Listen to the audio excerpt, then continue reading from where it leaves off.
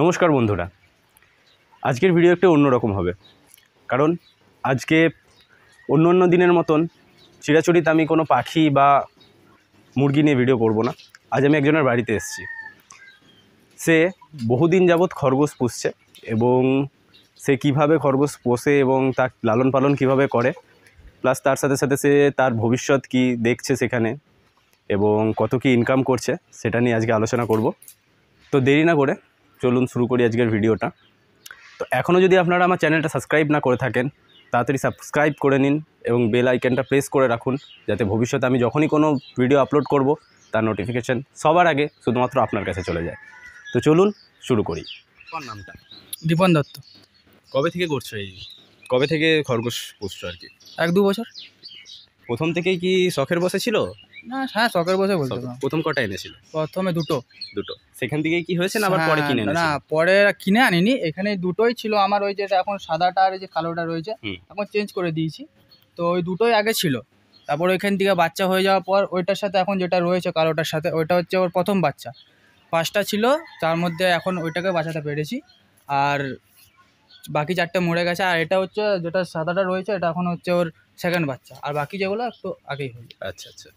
তো এখন অবধি তুমি কীরকম কি এখানের বাচ্চা পেয়েছ এবং বিক্রি করেছ তো না এগুলোই? না না বিক্রি অনেক করেছি। আচ্ছা আচ্ছা। বিক্রি দশ বারোটার মতো বিক্রি হয়েছে। এমনি তার মধ্যে ইনকামও হয়েছে। আচ্ছা। তোমার এই খরগোশ পুষতে মান্থলি খরচা কীরকম হয়? একটু খরচা আছে যখন ব্যক্তিগত খরচা বলছে এগুলো তো এখনও তো ওই শুধু খরগোশ তো বলতে ওই খোসা টোসা এগুলোই তো আর যখন একটু ভাত হয় তখন ভাত দেওয়া হয়। তাছাড়া এমনি তো কোনো মাছ মাংস দিই না কারণ ওটাতে কিছু তো খারাপ হয়ে যেতে পারে তাই ওটা দিই না। তো এখন ওই বাচ্চাগুলো হয়েছে এখন ওই কলমি শাক কারণ এছাড়া তো আর কিছু দেওয়া যায় না। আচ্ছা। তো মানে মিনিমাম এখন এরকম সব যখন বাচ্চা থাকে না তখন খরচাটা অতটা হয় না। তখন অতটা খরচা হয় আচ্ছা বাচ্চাটা থাকলে তখন একটু খরচা খরচাটা হয়। কারণ আচ্ছা, বাচ্চাদের তো তাও মিনিমাম কীরকম খরচা হয় মান্থলি মান্থলি বলতে তিন চারশো টাকা তো হয়ে যায়। হয়ে যায় তিন দশটা বাচ্চার মধ্যে। একদম দশটা বাচ্চা আচ্ছা আর এই দশটা বাচ্চা তোমার বিক্রি কততে হয়? বিক্রি আবার যে যেমন দেয় যে একটু খুবই পরিচিত হয় যে একটু ক্লোজ এভারেজে তোমার কীরকম আমার আর হচ্ছে চারশো টাকা জোড়া। জোড়া চারশো টাকা। জোড়া চারশো আচ্ছা। মানে দু হাজার টাকা মতন দশটা হ্যাঁ, বাচ্চা হ্যাঁ, বিক্রি হ্যাঁ, হয়ে যায়। আচ্ছা আচ্ছা। সে এখন অবধি কি কোনো রোগ বা এসবের কোনো সম্মুখীন হয়েছো? না এখন অব্দি তো হয়নি আর ভগবান নাও যেন হয়। আচ্ছা সেটাই যেন ভালো। আচ্ছা। তো ভবিষ্যতে তোমার পরিকল্পনা কি? এটা কি আরও বাড়ানো না এরকমই রাখা? দেখি কি করা যায় এখন অতটা ভাবিনি। আচ্ছা অতটা এখনও প্ল্যানিং নেই। তো বন্ধুরা দেখতে পাচ্ছেন এইটা হচ্ছে এর খরগোশগুলো যেগুলো আমি দেখাচ্ছি। এটা ছেলে না মেয়ে? এটা মেয়ে। আচ্ছা এটা মেয়ে।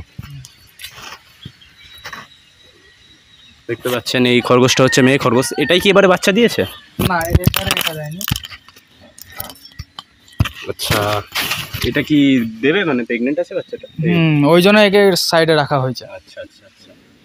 খুব ভালো তাহলে দেখা যাক। এক একবারে কটা বাচ্চা দেয়?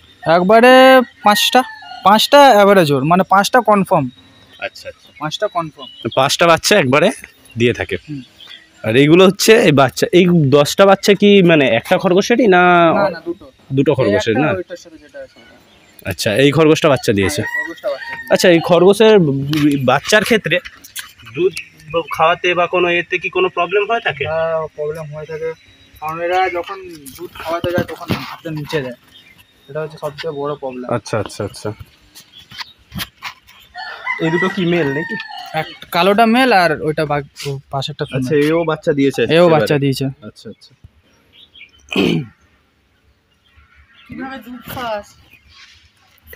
আর দুধ খাওয়াবার ক্ষেত্রে আপনি বললেন যে নিচে দেয়। তো এই ক্ষেত্রে আপনি মানে কীভাবে কেয়ার করেন বাচ্চাগুলোর যাতে মানে বাচ্চাগুলো ঠিক থাকে আর কি? যখন হয় তখন ওদেরকে ধরে পড়ে মানে যখন শীতকালে হয় তখন একটু খুব কষ্ট হয়ে যায় কারণ তখন ঠান্ডা লেগে তো বাচ্চাগুলো মরে যেতে পারে। তাই তখন একটুখানি কষ্টকর হয় নয়তো যেমনি ওই মাকে ধরে পড়ে তার সামনে বাচ্চাগুলো দিয়ে দেওয়া হয়। তখন ধরে আচ্ছা, রাখতে মানে মাটাকে ধরে রাখতে হয় হ্যাঁ তো? নয়তো ও মেরে দেবে। আচ্ছা। কারণ এগুলোর মধ্যে একটা শান্ত নেই আচ্ছা শুধু কালোটা বাদ দিয়ে। অনেক সময় আমরা দেখি যে ছোট বাচ্চাকে বড় খরগোশ খেয়ে ফেলে। হুম হুম। হ্যাঁ হ্যাঁ। এইসবের সমস্যার কি সম্মুখীন হয়েছে? এগুলো তো হ্যাঁ হয়েছি। আচ্ছা। হয়েছি নিজে চোখে দেখেছি যখন দেখেছি তখন নিজে মানে যেমন করে হোক বাঁচাতে পেরেছি আর কিছু তো ওরা মেরে দিয়েছে আগে। আচ্ছা তো এটা প্রতিরোধ করার জন্য কি করো তুমি?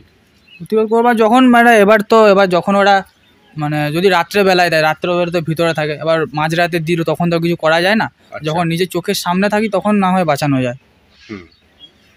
আচ্ছা। তো আর প্রথমেই যখন প্রথম একদিনের বাচ্চাকে কি তুমি আলাদা করে দাও? না একদিনের বাচ্চা ওর মা মায়ের না না না না দেওয়ার সাথে সাথে আলাদা করতে হয়। দেওয়ার সাথে সাথে একদম দেওয়ার সাথে সাথে আলাদা নয়তো মেরে দেবে। আচ্ছা তো দেওয়ার সাথে সাথে আলাদা করে দেওয়াতে কোনো অসুবিধা হয় না? মানে না, না, না। মারা যায় বা এরকম কিছু? এমনি তো এখনও অবধি তো হয়নি। আচ্ছা প্রথমে তো আমরা যতদূর দেখি যে খরগোশের বাচ্চা গায়ে একদমই লোম থাকে না তো শীতকালে সেটার কীভাবে তুমি পরিচর্যা করো যাতে না মারা যায় তখন একটা ঝুড়ির মধ্যে রেখে পড়ে একটা ছোট একটা ঝুড়ির মধ্যে রেখে পড়ে তখন কারণ তো এখন তো এত বড় হয়ে যায় আর খরগোশের বাচ্চা তো জলদি বড় হয়। তো তো মানে দু তিন দিনের মধ্যে ওটা গায়ের লোম হয়ে যায়।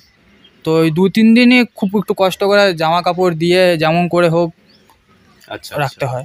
আচ্ছা। একটা খরগোশ বাচ্চা দেওয়ার ঠিক কতদিন পর আবার বাচ্চা দেয়? এক মাস। এক মাসের মাথায় বাচ্চা দিয়ে আবার দিয়ে? দেবো। আচ্ছা, এমনি মানে প্রত্যেক মাসেই বাচ্চা দেয় নাকি হ্যাঁ প্রত্যেক মাস তিন মাস অমনি করে দেবে। আচ্ছা। মানে যদি সে প্রথমবার দেয় তো। আচ্ছা বছরে কবার বাচ্চা দেয় খরগোশ? বছরে তো এটা তো এখনও বলা যাবে না কারণ একটা খরগোশ কেমন দিতে পারে সেটার উপর। আচ্ছা, মানে প্রত্যেকটা খরগোশের আলাদা। তুমি। কীরকম পেয়ে থাকো বছরে বাচ্চা একটা খরগোশ থেকে? একটা কতবার খরগোশ থেকে তো ম্যাক্সিমাম যদি ধরা যায় তো চারবার তো দেবে। তো বন্ধুরা আপনারা দেখলেন এতক্ষণ ধরে আমি ওর ফার্মটা দেখালাম। তো আপনারা চাইলে এরকম ফার্ম নিজেরাও বানাতে পারেন। আর যদি কারোর আশেপাশে আমাদের এখানের আশেপাশে হয়ে থাকেন মানে দুর্গাপুরের আশেপাশে থেকে কেউ দেখে থাকেন, তাহলে আপনারা, আমি এর নাম্বার দিয়ে দেবো ডেসক্রিপশানে আপনি তাকে ফোন করেও বাচ্চার জন্য যোগাযোগ করতে পারেন। দেখতে পেলেন বাচ্চাগুলো খুবই সুস্থ এবং সুস্থ সবল বাচ্চা এবং খুব দামটাও মোটামুটি খুব কমের মধ্যেই রয়েছে, যে তুলনায় প্রোডাক্ট তার। তো আজকের ভিডিওটা এইটুকুই রাখলাম, আর বড় করছি না। আশা করি আপনারা বুঝতে পেরেছেন যে কীরকম কীরকম, কী করলে পরে সুস্থ থাকবে এবং ও বহুদিন যাবৎ পুষ মানে খরগোশ পুষছে প্রায় বছর দুই তিন হবে- তো অভিজ্ঞ একজনের কাছ থেকে আজকে আপনাদের এই কন্টেন্টটা আমি দিলাম। তো আশা করি আপনারা ভিডিওটা ভালো লাগবে এবং যদি ভালো লাগে লাইক করুন কমেন্ট করুন এবং চ্যানেলটা সাবস্ক্রাইব করতে অবশ্যই ভুলবেন না। কারণ এরকম ভিডিও আমি পোস্ট করেই থাকি।